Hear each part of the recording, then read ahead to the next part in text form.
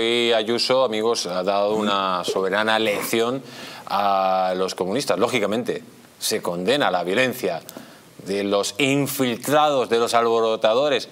Marlaska, ¿quién infiltró a los alborotadores? Yo los condeno, yo condeno esa violencia, la de los infiltrados de Marlaska. Y aquí la señora Ayuso pues la condena a la violencia.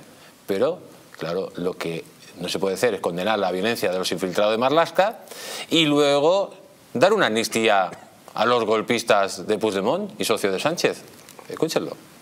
Si ustedes se piensan que van a intentar retorcer la opinión del pueblo español, harto de lo que están haciendo, de que el gobierno de Sánchez se haya erigido como legislativo, ejecutivo y judicial, lo llevan muy claro, porque la gente ya está muy cansada de lo que están haciendo ustedes. Digan abiertamente qué están pactando, qué están negociando y, sobre todo, cómo pueden decir ustedes que tienen un modelo de país, tendrán un modelo de gobierno. El modelo de país lo tendremos que decidir todos los españoles.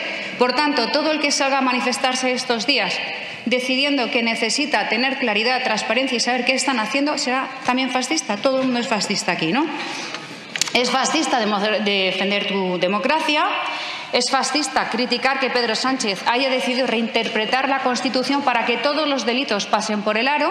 Es fascista pedir que aquellos que han cometido los más graves delitos contra la hacienda de todos los andaluces, creando un sistema corrupto, no sean indultados y se vayan a su casa. Pues eh, efectivamente, o sea, todo lo que no sea comunismo del siglo XXI, porque Sánchez ya no es socialista, es comunista, es fascismo. Pues entonces seremos fascistas, claro. Si es que todo aquel que esté en contra del comunismo es fascista, pues entonces eh, los liberales, los centristas, la izquierda moderada, la derecha conservadora, pues son fascistas, todos son fascistas, porque claro, ese es el comunismo, el totalitarismo, solo hay que tener una opinión, la suya. Y cuando a Sánchez se le ha puesto el pueblo enfrente con estas manifestaciones, pues eh, se ha visto acorralado y ha buscado pues esos ataques de falsa bandera para intentar justificantes de los medios de comunicación. Yo hoy he visto el telediario de Antena 3 de las 3 y estaba contando una película de la manifestación que, bueno, sí tenía, en la película sí tenía algunos parecidos, pero eh, estaba muy lejos de la realidad, ¿no?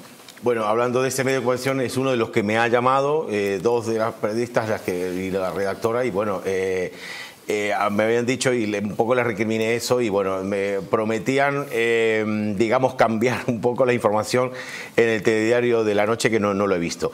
Me quería referir a las palabras de Isabel Díaz Ayuso. Mucho cuidado Jesús, lo que ha dicho, se ha demarcado completamente de lo que ha dicho Alberto Núñez Feijóo con respecto a las manifestaciones. Está hablando Isabel Díaz Ayuso, está hablando, está alentando, está apoyando las manifestaciones. Esta es una gran brecha, la primera gran brecha y profunda e importante en la estrategia política dentro del PP. Isabel Díaz Ayuso desmarcándose claramente de Cuca Gamarra también y, de Alberto Núñez Feijóo con respecto a las manifestaciones. Muy importante. ¿eh?